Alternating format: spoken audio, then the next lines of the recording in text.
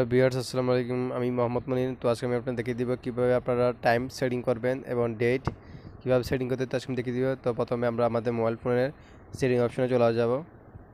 Setting অপশনে click করার পরে এখান থেকে আমরা আমাদের যে মোবাইল ফোনটি রয়েছে, সেই মোবাইল ফোনের ফোনটিতে এডিশনাল সেটিং আমরা ক্লিক করব।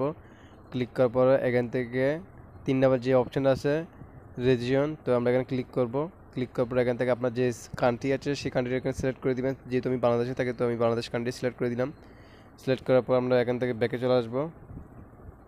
ব্যাকে আসার পর এখান থেকে ডেট অ্যান্ড টাইম তো আমরা ক্লিক করব। ক্লিক করার পরে এখান থেকে এটা অটো থাকবে। অটো থাকার পর এটা আপনারা অফ করে দিবেন। অফ করার পরে এখান থেকে আপনাদের যে তারিখ আছে মাস, দিন, বছর, এটা দিয়ে দিবেন। সো এগুলো আপনারা দেওয়ার পরে এখান থেকে আমরা ওকেতে পেস্ট করব। পেস্ট করার পরে এখান থেকে আপনার যে টাইম আছে, তো টাইমটি দিয়ে দিবেন এখানে। সো এখান থেকে আপনার টাইমটি দিয়ে দিতে পারেন। সো টাইমটি দেওয়া হয়ে গেলে এখান থেকে আমরা ওকে পেস্ট করে দিবেন ওকে পেস্ট করার পরে এখান থেকে আমরা একটু নিচে চলে আসব। আসার পরে এখান থেকে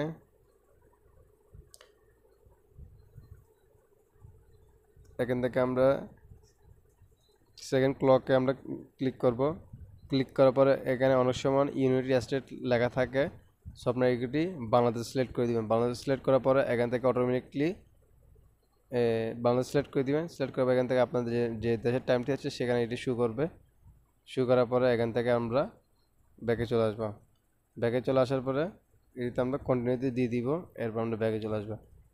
সো বেশ, এভাবে করে আপনারা আপনাদের যে মোবাইল ফোনটি রয়েছে, সেই মোবাইল ফোনটির আপনারা তারিখ এবং সময়গুলো পরিবর্তন করতে পারুন, আপনার দেশের টাইম সেট করতে পারেন।